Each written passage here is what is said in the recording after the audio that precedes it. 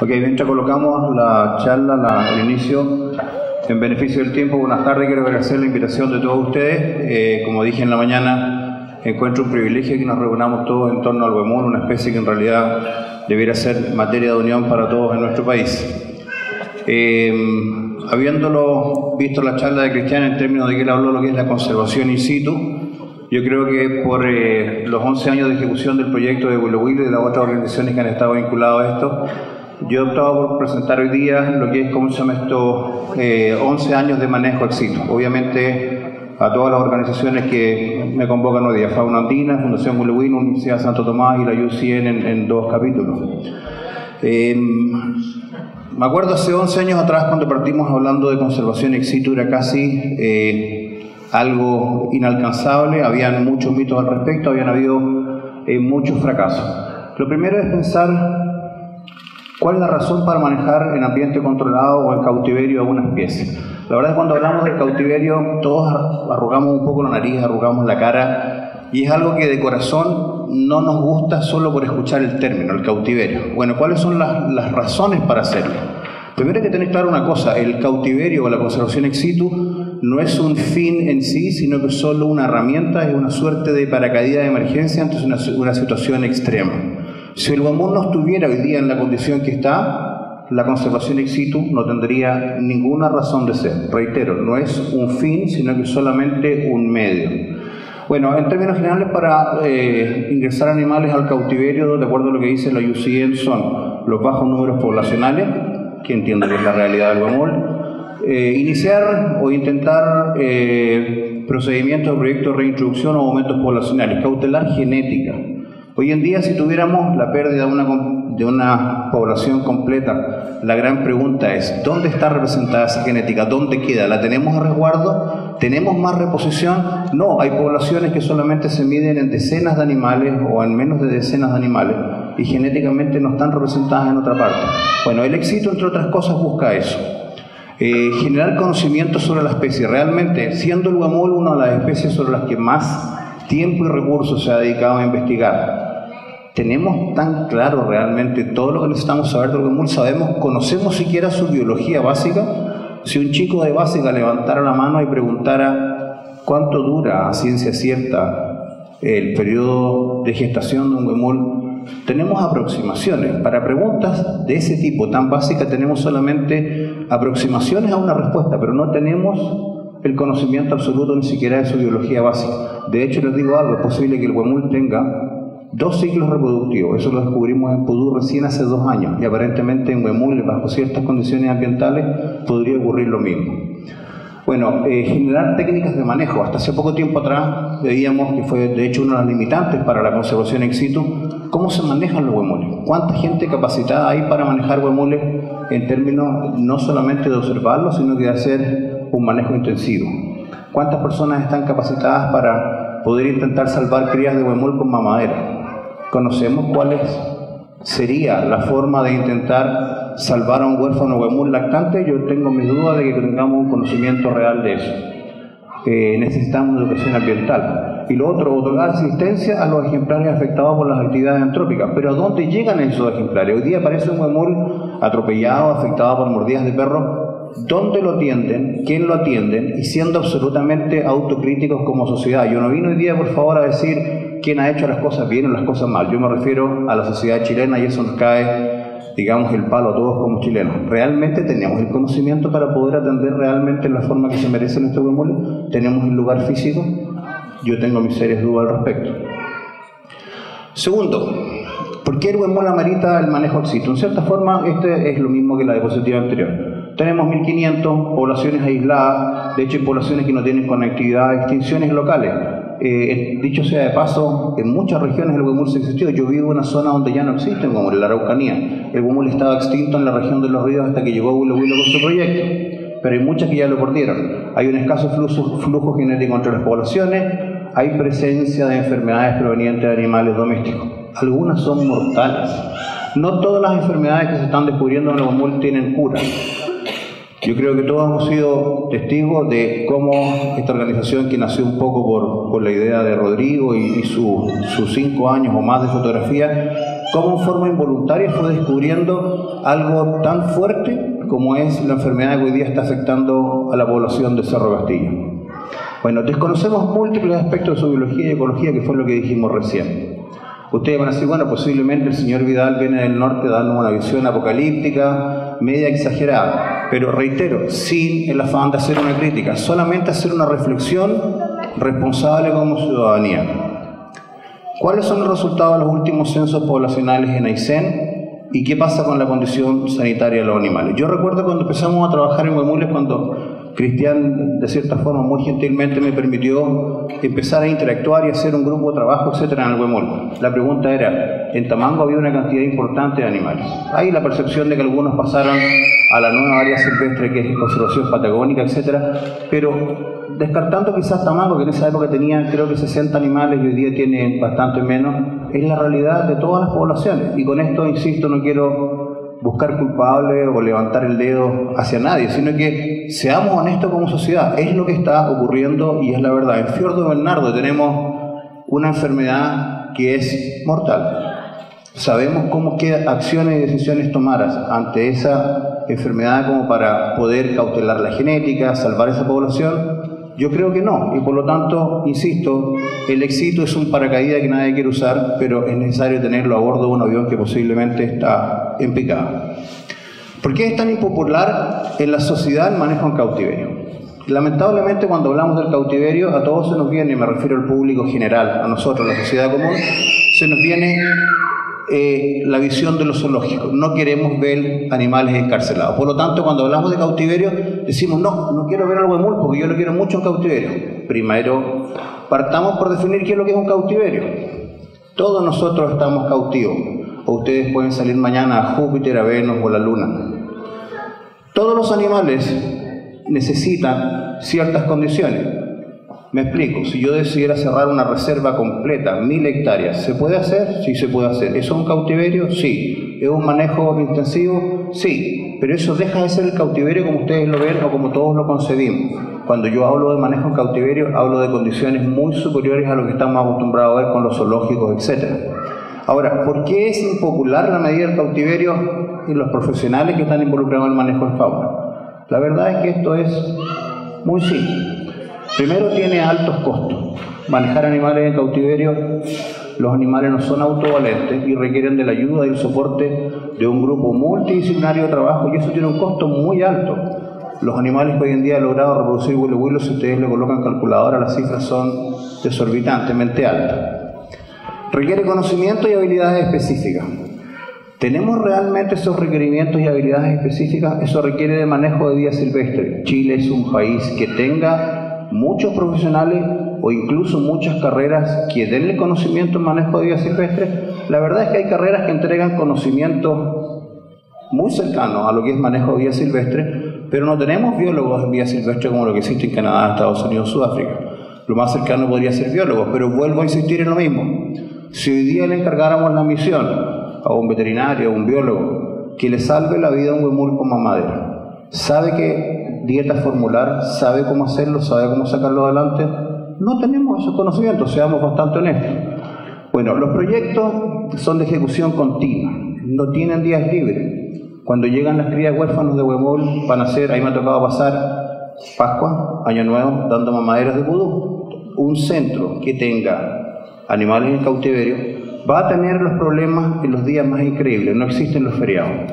Segundo, son altamente visibles y están sometidos al escrutinio público. Cuando ustedes meten o ingresan a una especie tan emblemática como el Huemul del Sur, el cautiverio, está la prensa detrás de lo que ocurra, están las ONGs detrás de lo que ocurra, y lo otro que es muy, muy cierto, lamentablemente no se pueden maquillar los resultados.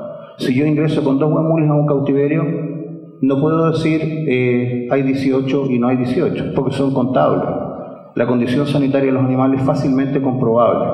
Por lo tanto, generalmente le sacamos el cuerpo a la conservación ex porque es extremadamente demandante, pero es necesaria.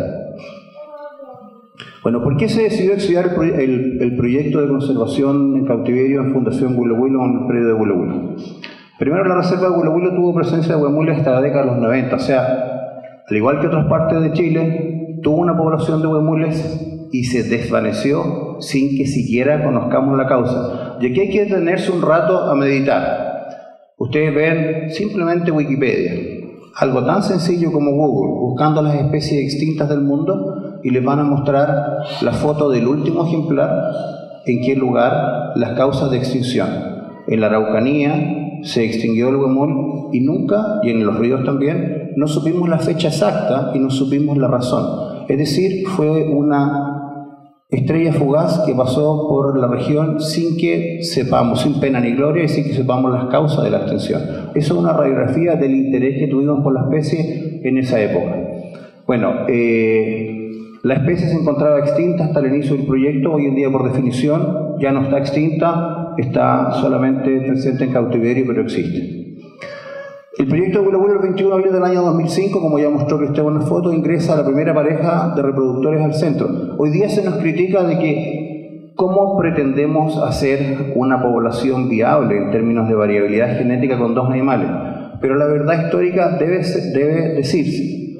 El proyecto pretendía capturar seis animales, dos machos y cuatro hembras, tampoco con la idea de formar una población viable, solo para demostrar con el grupo trabajo que éramos capaces de capturar animales para llevarlos de A a B, mantenerlos en cautiverio, reproducirlos y la idea, de acuerdo al proyecto, una vez que terminara la componente piloto, solicitar más animales para continuar la reproducción, precisamente para tener la variabilidad genética de la que nos critican que no tenemos. La verdad es que los cuatro ejemplares nunca llegaron porque existía desconfianza pública. Al hablar de especies emblemáticas como el huemul siempre hay dudas. Ocurre lo mismo con el zorro chilote y con otras especies más. ¿Para qué este privado quiere el animal? ¿Por qué él está gastando este dinero en esto? ¿Cuál es la razón de? Y lamentablemente nos hemos consumido gran parte de la historia del huemul peleando entre nosotros y sin que tengamos la capacidad de avanzar. Sin hacer ninguna reflexión más que la, que la siguiente.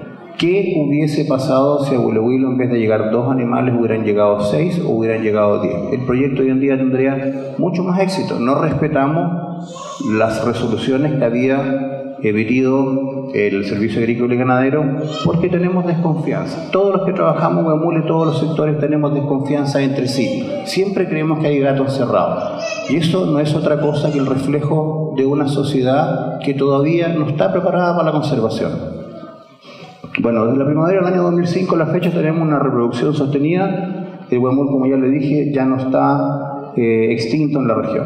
Nos hemos dado cuenta que las hembras se pueden reproducir todos los años, que las hembras son fértiles antes del tercer año, como menciona el doctor Corti, etcétera, porque hemos ido generando algunos conocimientos sobre su biología básica que nos han permitido avanzar en varias cosas. En noviembre del 2015 pasamos de dos ejemplares a 18 en dos planteles en el concepto de huevos en distintas canastas por, algún evento sanitario, etc.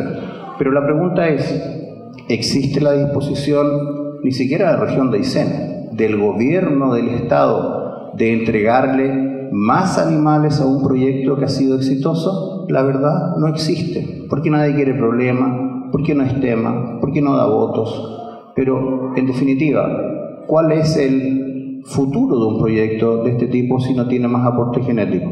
Les dejo la inquietud a ustedes.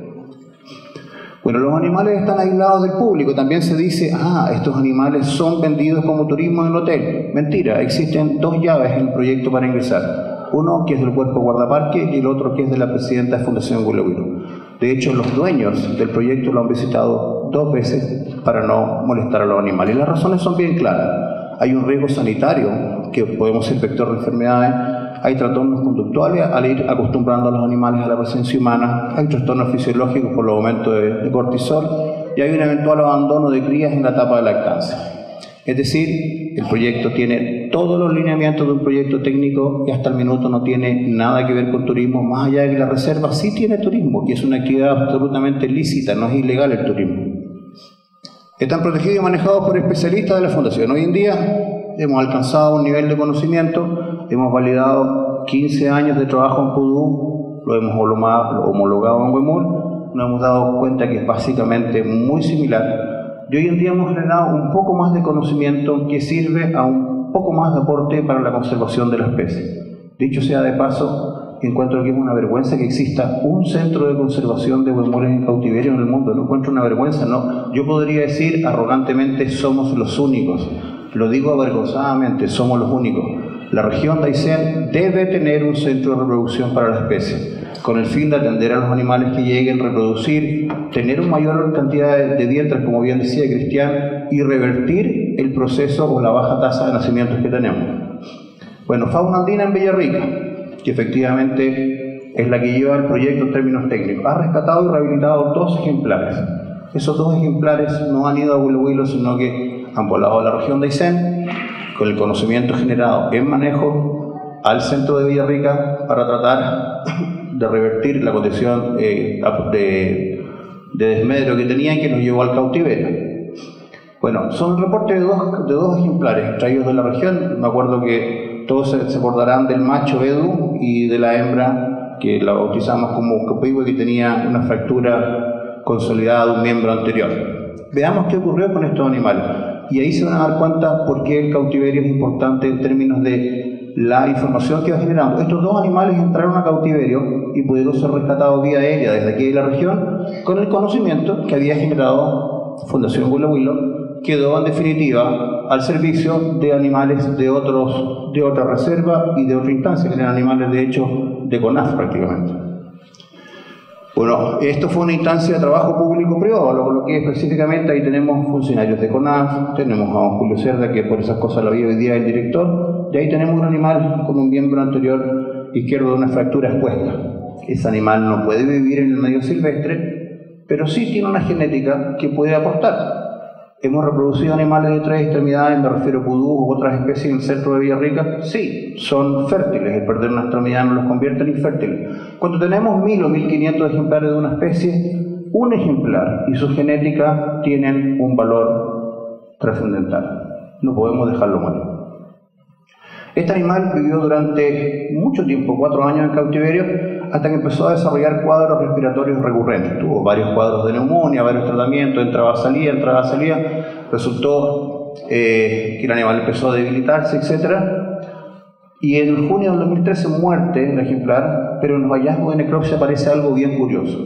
Aparecen cisticercos de tenia, que ya habían sido descritos por Texera en el año 74 y Jürgen Rothman en el 2003 como posibles causas de muerte.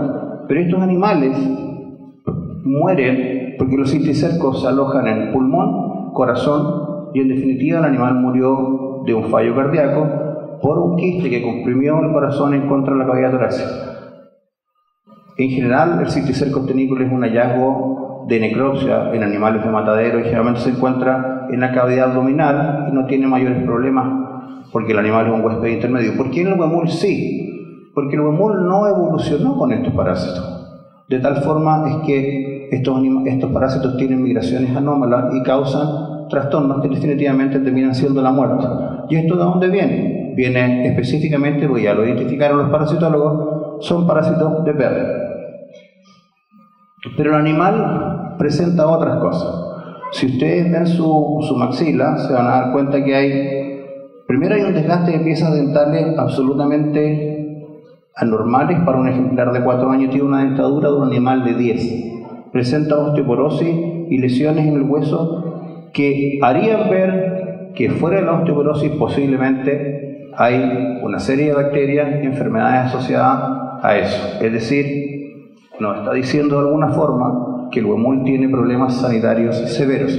Si este animal hubiera muerto en la naturaleza, lo hubieran depredado los zorros, otros catártidos, eh, eventualmente los cóndores, y nunca hubiéramos sabido realmente esta información. Pero esta información se consigue muchas veces con, tener animales en cautiverio. Esta es otra instancia que es aún más dramática. Este es eh, la hembra fracturada. Tenemos nuevamente funcionarios SAC, tenemos a Rodeal, pero un gran colaborador, rescatando a la hembra desde Cerro, desde Cerro Castillo. Esta hembra fue volada de Balmaceda hasta Villarrica el ejemplar desde que llegó a Villarrica se presentó una respuesta muy favorable al cautiverio, la verdad es que ningún problema, pero empezaron a aparecer problemas sanitarios. Esto ustedes ya lo conocen, en cierta forma fue lo que presentó Rodrigo de los Reyes. Abscesos, que en definitiva ya fueron diagnosticados por el servicio, la famosa linfodenitis gaseosa. Encontramos Futrut también, que generalmente en muchas ocasiones, o necrobacilosis, posiblemente podría venir de las ovejas o de un manejo más intensivo, pero es primera vez que lo veíamos en Huemul. No lo habíamos visto nunca en Huilo por lo menos en los 10 años no, lo habíamos, no nos había tocado ver. Eh, lesiones oculares. A todo esto, estas lesiones oculares han sido observadas no solamente en la hembra que llegó, sino que también de las otras veces que hemos venido a trabajar con los animales en vida silvestre, con una suerte de monitoreo, a comparar realidades. Estas lesiones las hemos visto en animales de Villarrica y en animales hasta Villa en todo el curso de la carretera austral hasta Villa Infecciones vaginales. Esto produce posible aborto. Esto no lo hemos observado en cómo se llama esto en, los animales en vida libre. Esta es la hembra específicamente que llegó de Cerro Castillo. Bueno, eso corresponde específicamente a lo que describe la literatura como las infecciones que va produciendo la linfodenitis gaseosa. Todas estas lesiones, como les digo, son, animales que han sido observados en, Cerro, en, perdón, en Higgins. Ahí tiene en el globo ocular derecho, globo ocular izquierdo, son todas lesiones observadas en animales libres, es decir, esos animales que entraron a cautiverio nos hicieron volar de vuelta a la región de Aysén y hacer un monitoreo con cámara fotográfica y binoculares y nos dimos cuenta que muchos de los animales tenían exactamente el mismo cuadro. Hallazgos adicionales, aquí se pone el asunto un poco más complejo. Es bastante árido lo que dice acá, pero se produce una lesión en la piel, en la zona submandibular con histopatología, en el fondo un SIL-Nielsen positivo eso, suerte de papilomas o, de cuerpos extraños, habíamos mandado varios laboratorios, no había salido ninguno más que fibrosis, etc., pero en este caso salió Silnitzen positivo. Ahora, ese Silnitzen positivo no significa necesariamente que sea tuberculosis, pero sí nos abre una luz a lo que pudiera estar ocurriendo.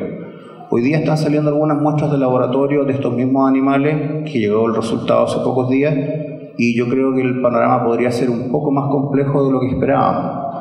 Por lo tanto, cuando todos nosotros los amantes del Huemul molestamos y solicitamos ayuda a Huemul por la situación desmedrada que tiene, no es por molestar a nadie ni por quitarle el sueño a nadie, sino que tenemos razones fundadas para darnos cuenta que estos animales sí están enfermos y posible, posiblemente la linfodenitis gaseosa sea la menos grave de muchas otras enfermedades que hay presentes en el ciclo silvestre.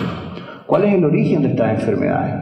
¿Aparecen por generación espontánea? No. Esta es una foto que nunca me canso de mostrarla. Tenemos una hembra en un lugar súper erosionado con una especie exótica, un pino y una vaca. Pero van a decir, bueno, pero el buen y la vaca no bailan juntos y no se, no se eh, digamos, intercambian fluidos de ningún tipo como para poderse contagiar. Bueno, hoy día sabemos que el contagio de estas enfermedades no requiere necesariamente de un contacto directo. ¿Cuáles son los vectores de contagio? Aquí tenemos un, un que acaba de cruzar un cerco, tiene un corte desde, digamos, desde el cráneo a la cola, está cruzando por un lugar donde hay alambre púa, pero este es un callejón de cruce mixto, es decir, por este callejón no solamente cruzan los guamulos, sino que después cruzan las vacas y a veces las ovejas. Haciendo, por favor, yo sé que en la audiencia hay mucha gente profesional del área, pero haciendo una comparación súper burda, sería como que en la playa yo dejara puras agujas con sidas clavadas en la arena y todo el mundo se va pinchando. Es exactamente lo mismo, es decir, ese es un vector de contagio de muchas enfermedades. Los otros son los insectos hematófagos. Si ustedes miran esta imagen, nos vamos a encontrar con, este es un miembro anterior de un guamul, específicamente, posiblemente, no, sé si la cefálica o no, pero bueno, ahí tenemos un, insecto hematófago y ahí tenemos un grupo. Pero esto no solamente pasa con guamul, también pasa con guanacos y también pasa con ganado. Es decir, por favor no crean que es necesario que una vaca esté junta o una abeja junta para que se ocurra con un huemul para que ocurra el contagio. Pues hay muchos vectores de contagio. Bueno, algunos efectos globales esperados. E, efectivamente en la linfodenitis, eh, lesiones de seriedad que yo creo que ustedes la han visto.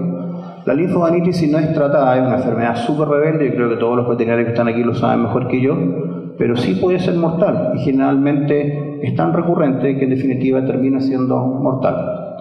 Eh, los animales chicos afectados tienen un crecimiento lento, eh, las crías crecen muy lentamente y se retrasa eh, la edad reproductiva de los animales, por un tema de alcanzar la madurez y la condición corporal. Posiblemente cuando otros autores mencionan de que la edad reproductiva del bubón se produce al tercer año, y nos, y nos damos cuenta que en cautiverio se produce al año y medio con una buena nutrición, posiblemente son animales que se demoran tres años en ser fértiles, es porque están afectados tal vez, solo tal vez de linfodenitis gaseosa, tienen un crecimiento retardado.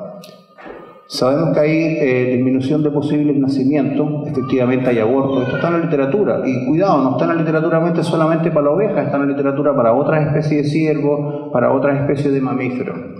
En definitiva, solamente, única y exclusivamente la linfodenitis se puede traducir en el tiempo de una baja poblacional considerable. Yo creo que todas estas razones hacen darnos cuenta que, aunque no nos guste ver a los mamules en cautiverio, Aysén, insisto, Aysén necesita un centro de reproducción. Necesita cautelar genética animales sanos y construir una suerte, dicho burdamente, una suerte de arca de Noé preventiva que va a tener muchas otras funciones, investigación, educación, etc. Muchas gracias.